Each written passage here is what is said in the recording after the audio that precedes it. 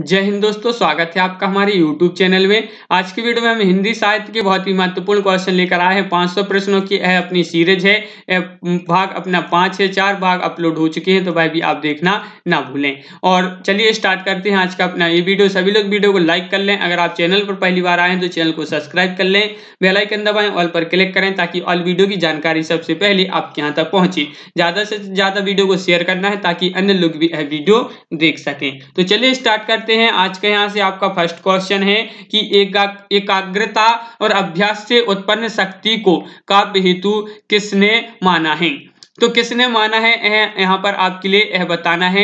राजशेखर ने, दंडी ने, भरत मुनि ने या मम्मट ने? तो क्वेश्चन नंबर 101 है आपका। यहाँ पर आपका सही आंसर होगा। राजशेखर, आपके लिए आखिरी में कमेंट के माध्यम से ज़रूर बताना है कि कितने क्वेश्चन आपके यहाँ पर सही हुए हैं। अगला क्वेश्चन है यहाँ पर कि जहाँ उपमेय में उप, उपमान की संभावना व्यक्त की जाए वहाँ कौन सा अलंकार होता है? तो जहाँ उपमेय में उपमान की संभावना व्यक्त की जाए वहाँ पर कौन सा अलंकार होता है? उपमा उत्प्रेक्षा रूपक अनुप्रास चार विकल्प हैं और आपका सही आंसर है। क्वेश्चन नंबर 102 का राइट आंसर है। क्या है राइट आंसर उत्प्रेक्षा आपका यहाँ पर राइट आंसर है। विकल्प नंबर बी आपका सही आंसर अगला क्वेश्चन है इलाचंद जोशी ने उपन्यासों में यथार्थवाद का रूप मिलता है। इलाचंद जोशी के उपन्यासों में यथार्थवाद का रूप मिलता है। तो क्या है इसका सही आंसर क्वेश्चन नंबर 103 का राइट आंसर बताना है। चार विकल्प है। आंसर बनता है तो आप कमेंट में ज़रूर बताएँ। और इसका जो सही आंसर है, वह है आपका विकल्प नंबर डी यानी कि मनोवैज्ञानिक। मनोवैज्ञानिक, आपका यहाँ पर सही आंसर है विकल्प नंबर डी जिन्होंने नहीं बताया उनका सही आंसर। अगला क्वेश्चन हिंदी साहित्य का प्रथम स्वच्छंद तावादी कवि कौन है? स्वच्छंदतावादी कवि पूछा है आपसे यहाँ पर हिंदी साहित्य का। जयशंकर प्रसाद, महादेवी वर्मा, श्रीधर पाठक या पंत? तो क्वेश्चन नंबर 104 का यहाँ पर जो सही आंसर है, वह है आपका विकल्प नंबर सी आपका राइट आंसर है। यानी कि श्रीधर पाठक आपका यहाँ पर राइट आंसर होगा। श्रीधर पाठक आपका सही आंसर है। अगला क्वेश्चन है, भरत मुनि ने काव्य गुणों की संख्या कितनी मानी है? तो यहाँ पर आपके लिए भरत मुनि जी के अनुसार बताना है कि काव्य गुणों की संख्या इन्होंने कितनी मानी है? सत्तर, तीन, अड़तालीस या दस। तो चार विकल्प हैं और भरत मुनि ने काव्य गुणों की संख्या मानी है। क्वेश्चन नंबर 105 का राइट आंसर होगा आपका। क्या होगा राइट आंसर विकल्प नंबर डी यानी कि इन्होंने दस मानी है। दस आपका यहाँ पर सही आंसर है। छंदमाला की रचयिता कौन है? क्वेश्चन नंबर है आपका 106 यहाँ पर छंदमाला की रचयिता बताना है। तो कौन है छंदमाला की रचयिता? तो क्वेश्चन नंबर 110 का राइट आंसर होगा आपका यहाँ पर विकल्प नंबर बी यानी कि केशवदास। केशवदास आपका यहाँ पर सही आंसर है। अगला क्वेश्चन है क्वेश्चन नंबर है आपका 107 अलंकार संप्रदाय की प्रवर्तक आचार्य कौन है? तो कौन है? आनंद वर्धन या बामन, भरत मुनि या भामय तो चार विकल्प है क्वेश्चन नंबर 107 है। अलंकार संप्रदाय के प्रवर्तक आचार्य कौन है? तो क्वेश्चन नंबर 107 का आपका यहाँ पर जो राइट आंसर है, वह होगा भामय विकल्प नंबर बी आपका सॉरी डी आपका यहाँ पर राइट आंसर है। भामय जिन्होंने बताया है, उनका सही आंसर है। छल नामक चौतीसवा संचारी भाव किसने माना है? छल नामक चौतीसवा संचारी भाव माना है। तो किसने माना है? यहाँ पर आपके लिए बताना है। चार विकल्प हैं आपके सामने और आपका यहाँ पर राइट आंसर होगा। देव कवि। देव कवि, आपका यहाँ पर राइट आंसर है। देव कवि ने जो है छल नामक चौतीसवा संचारी भाव इन्होंने माना है। अगला क्वेश्चन है, मीरा की भक्ति मानी जाती है तो मोस्ट इंपॉर्टेंट क्वेश्चन है, मीरा की भक्ति किस प्रकार की मानी जाती है? दास्य भाव की, माधुर्य भाव की दैन्य भाव की, या सख्य भाव की? तो मीरा की भक्ति मानी जाती है। क्वेश्चन नंबर 109 का यहाँ पर जो सही आंसर है, वह आपका विकल्प नंबर बी, यहाँ पर राइट आंसर है। माधुर्य भाव। माधुर्य भाव आपका यहाँ पर सही आंसर होगा। अगला क्वेश्चन है आपका यहाँ पर कौन सी पत्रिका का प्रकाशन इंदौर से होता है? तो वह पत्रिका बताना है, जिसका प्रकाशन मध्य प्रदेश के इंदौर शहर से होता है। तो नया विकल्प वसुधा या साक्षात्कार या बीणा चार विकल्प हैं क्वेश्चन नंबर 110 का राइट आंसर बताना है और 110 का राइट आंसर है बीणा विकल्प नंबर डी आपका यहाँ पर राइट आंसर है। विकल्प नंबर डी आपका सही आंसर है। अगला क्वेश्चन है, मृगावती किसकी रचना है? उस्मान की या कुतुबन की, जायसी की या मंझन की? चार विकल्प हैं आपके यहाँ पर। मृगावती किसकी रचना है? क्वेश्चन नंबर 111 है और बहुत ही महत्वपूर्ण है आपका क्वेश्चन है। तो मृगावती जो रचना है यह है किसकी? कुतुबन विकल्प नंबर आपका बी राइट आंसर होगा। विकल्प नंबर बी जिन्होंने बताया है, उनका राइट आंसर है। निम्न में से पश्चिमी हिंदी की भाषा नहीं है। नहीं है, यह बताना है तो कौन सी नहीं है? बुंदेली, मैथिली, खड़ी बोली या ब्रज भाषा?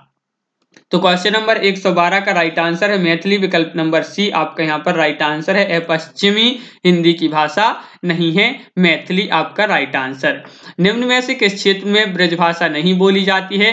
तो नहीं बोली जाती है एटा, झांसी, आगरा, मैनपुरी। चार विकल्प हैं तो कहाँ पर नहीं बोली जाती है? ब्रजभाषा वह क्षेत्र बताना है। क्वेश्चन नंबर 113 का राइट आंसर है। विकल्प नंबर सी यानी कि झांसी आपका यहाँ पर राइट आंसर है। बिल्कुल सही, झांसी आपका राइट आंसर क्वेश्चन नंबर 114 देख लेते हैं कि जयशंकर प्रसाद का प्रथम नाटक है। तो जयशंकर प्रसाद जी का प्रथम नाटक सज्जन या कल्याणी परिणय या करुणालय या प्राश्चित। तो क्वेश्चन नंबर 114 का राइट आंसर है आपका यहाँ पर। विकल्प नंबर क्या होगा राइट आंसर विकल्प नंबर एक, यानी कि सज्जन आपका यहाँ पर सही आंसर है। जयशंकर प्रसाद जी का प्रथम नाटक है सज्जन। अगला क्वेश्चन है, निम्न में से किसने समस्या प्रधान नाटकों की रचना की है? समस्या प्रधान नाटकों की जो रचना की है, वह बताना है किसने की है? वृंदावन लाल वर्मा, हरिकृष्ण प्रेमी लक्ष्मी नारायण मिश्र, गोविंद बल्लभ पंत। क्वेश्चन नंबर 115 है, और 15 का राइट आंसर है। विकल्प नंबर बी आपका राइट आंसर लक्ष्मी नारायण मिश्र आपका यहाँ पर सही आंसर है, जिन्होंने विकल्प नंबर बी बताया है, उनका राइट आंसर होगा। अगला क्वेश्चन है निम्न में से हिंदी प्रदीप का संपादन कार्य किसने किया है? तो हिंदी प्रदीप का संपादन कार्य किसने किया है? बाल मुकुंद गुप्त, भारतेंदु बालकृष्ण भट्टी या प्रताप नारायण मिश्र। क्वेश्चन नंबर 116 है अपने यहाँ पर। और इसका जो सही आंसर है, वह है आपका विकल्प नंबर बी यानी कि बालकृष्ण भट्ट आपका राइट आंसर है। अगला क्वेश्चन है, आधे अधूरे किसकी नाट्य कृति है? आधे अधूरे नाट्य कृति है, यह किसकी? मोहन राकेश, धर्मवीर भारती, जयशंकर प्रसाद या वृंदावन लाल वर्मा? तो क्वेश्चन नंबर 117 का राइट आंसर है आपका यहाँ पर विकल्प नंबर। एक यहाँ पर राइट आंसर होगा। एक यानी कि मोहन राकेश आपका यहाँ पर राइट आंसर है। अगला क्वेश्चन है कि कवि और कविता निबंध के लेखक हैं। कवि और कविता निबंध के लेखक बताना है। क्वेश्चन नंबर 118 का राइट आंसर बताइए। कौन है महावीर प्रसाद द्विवेदी, बालकृष्ण भट्ट, हजारी प्रसाद द्विवेदी या आचार्य रामचंद्र शुक्ल? कवि और कविता निबंध के लेखक हैं। महावीर प्रसाद द्विवेदी, आपका यहाँ पर सही आंसर होगा। अगला क्वेश्चन है आपका यहाँ पर कि आचरण की सभ्यता निबंध के लेखक हैं। क्वेश्चन नंबर 119 आचरण की सभ्यता निबंध के लेखक हैं। महावीर प्रसाद द्विवेदी, चंद्रधर शर्मा गुलेरी, सरदार सरदार पूर्ण से है। या माधव प्रसाद मिश्र तो चार विकल्प है। क्वेश्चन नंबर है 119 और 119 का राइट आंसर है। सरदार पूर्ण से है, आपका राइट आंसर है। आचरण की सभ्यता निबंध के लेखक है। सरदार पूर्ण से है। निम्न में से कौन सा मनोविकार संबंधी निबंध है? यहाँ पर आपसे मनोविकार संबंधी निबंध पूछा है। क्वेश्चन नंबर 120 का राइट आंसर क्या होगा? निम्न में से कौन मनोविकार संबंधी निबंध है? तो क्वेश्चन नंबर 120 का राइट आंसर बताना है और इसका जो सही आंसर है, करुणा विकल्प नंबर बी आपका राइट आंसर होगा। करुणा जिन्होंने बताया है, यहाँ पर सही आंसर है उनका। करुणा आपका राइट आंसर अगला क्वेश्चन है, इनमें से निराला की कविता कौन सी नहीं है? नहीं पूछा है तो कौन सी नहीं है? कविता पूछा है कि निराला की कविता कौन सी नहीं है? चार विकल्प है, कुकुरमुत्ता, जूही की कली, राम की भक्ति पूजा, शक्ति पूजा या नौका बिहार तो क्वेश्चन नंबर 121 का राइट आंसर बताना है और 121 का राइट आंसर है आपका विकल्प नंबर आपका डी राइट आंसर है। नौका बिहार जिन्होंने बताया है, उनका सही आंसर होगा, नौका बिहार छायावाद बृहत्री में शामिल नहीं है तो कौन नहीं है? महादेवी वर्मा, पंत, नराला, यहाँ पर निराला निराला जो है, दो बार विकल्प हो चुके हैं। तो बताइए क्या होगा इसका राइट आंसर कौन शामिल नहीं है इसमें? क्वेश्चन नंबर 122 और 122 का राइट आंसर है। विकल्प नंबर एक यानी कि महादेवी वर्मा। महादेवी वर्मा विकल्प नंबर एक आपका राइट आंसर है। अगला क्वेश्चन है कि कामायनी किस प्रकार की ए, किस प्रकार का महाकाव्य है? याद रखना है कामायनी एक महाकाव्य है तो किस प्रकार का है? भाव प्रधान विकल्प नंबर बी आपका यहाँ पर राइट आंसर है। कामायनी एक जो है महाकाव्य है और यह किस प्रकार का महाकाव्य है? भाव प्रधान। निम्न में से गोदान, उपन्यास का पात्र नहीं है। तो इसके पात्र नहीं है गोदान जो उपन्यास एक। गोदान क्या है? इस प्रकार का क्वेश्चन बने तो उपन्यास है। तो इसके पात्र नहीं है धनिया या होरी या सूरदास या मेहता। तो क्वेश्चन नंबर 124 का राइट आंसर यहाँ पर आपके लिए बताना है। और क्वेश्चन नंबर 124 का राइट आंसर है विकल्प नंबर सी यानी कि सूरदास। सूरदास आपका यहाँ पर राइट आंसर है। अगला क्वेश्चन है, निम्न में से कौन आंचलिक उपन्यासकार है? आंचलिक उपन्यासकार पूछा है तो क्वेश्चन नंबर 125 का राइट आंसर बताना है आज का आखिरी क्वेश्चन तो निम्न में से कौन आंचलिक उपन्यासकार है? तो आपका सही आंसर है, कौन है? फणेश्वर नाथ रेणु विकल्प नंबर डी आपका राइट आंसर है। तो इस प्रकार यहाँ पर आप अपने 100 जो है 25 क्वेश्चन यहाँ पर हो चुके हैं अपने।